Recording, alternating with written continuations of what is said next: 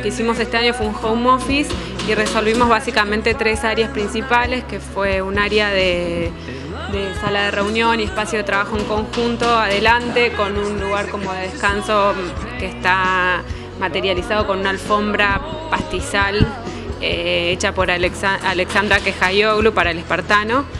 y después atrás la misma mesa se transforma en un escritorio individual para una, para una sola persona, un espacio mucho más íntimo donde creemos que se, se lleva adelante otra instancia del trabajo de un diseñador. Y el último espacio es el que está acá a la derecha, que es un espacio intermedio, como una especie de hall, que podría ser como, cuando, como esto es una oficina en la casa,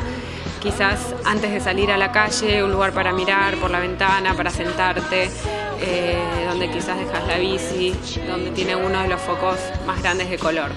Eh, lo más importante para resolver nuestro espacio fue el equipo de trabajo con el que nos juntamos para realizarlo. Hicimos como unas reuniones tipo brainstorming con gente súper talentosa que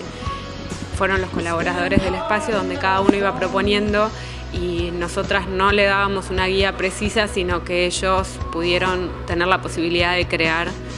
eh, lo que creían que estaba bueno para este espacio. Por ejemplo, la alfombra, el pastizal, eh, las instalaciones en papel que, hizo, que hicieron las Tilburgs, que son escenógrafas, el cuadro, que es un dibujo en lápiz.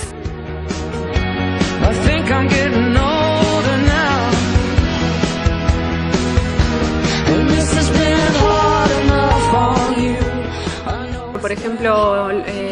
trabajamos con paisajistas, los Buya, que a partir de la alfombra que creó Alexandra Quejayoglu para el espartano, que es el pastizal, eh, hicieron como una interpretación desde la naturaleza con texturas y con distintas plantas.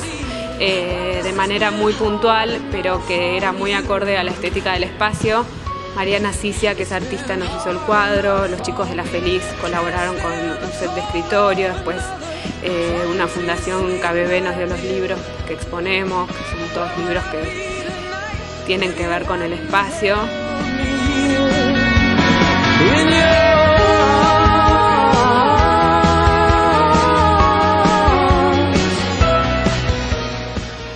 Quisimos eh, reflejar un poco un espacio que tenga que ver con lo nórdico, también por, el, por nuestro sponsor que es Velux, que es una marca danesa de, ventanas de techo, y también eh, remitir como un espacio de la casa que quizás, quizás residual, como puede ser un altillo, donde puedas armar tu oficina un lugar interesante de trabajo.